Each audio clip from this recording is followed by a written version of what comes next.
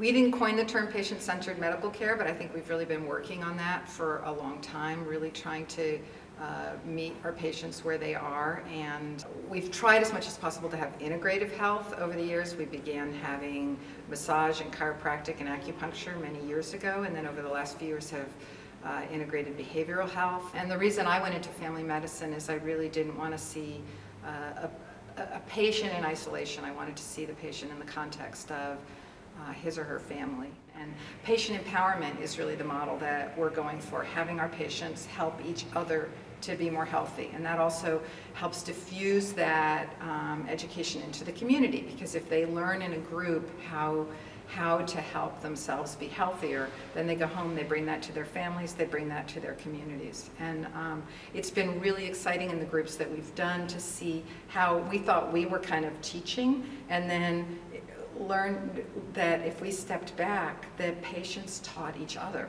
because they know what works for them. And it's much more valuable ultimately for a patient to learn from someone else with the same problem. Oh, this really worked for me.